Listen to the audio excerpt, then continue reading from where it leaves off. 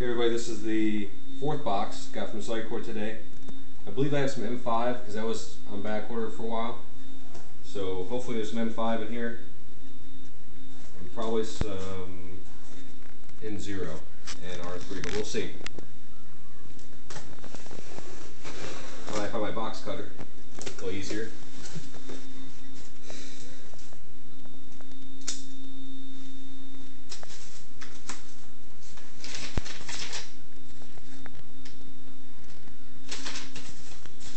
Okay, first we do have the M5 Extreme it's pre-workout. It's two part, actually the bottom part is the creatine base, and it has, uh, that's the build portion, and then the, the energy portion, they call it the Ignite, is up top. And this allows me to, to customize my workouts depending on how much I need for energy and what, whatnot. So I have some M5 now, it's a 30 day cycle. First time I had it, I bought it uh, before the contest zero here. This is the powder version. I've been getting sticks, stick packs. So I'm not sure, there shouldn't be any difference between the two. Just matter of scooping it or if you want this, you know, kind of a ready to use stick on the go.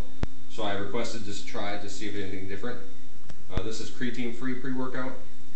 So I'll use this from time to time. Um, maybe not as much in conjunction with the M5, but if I'm going to do some cardio, if I need a little pick-me-up, this is what I'm going to be using for that. And then the R3 Extreme is my post-workout. Helps me recover my muscles. Um, five capsules a day. Um, 150 caps in here, so it'll be 30 days worth. So I have this is my third cycle of this.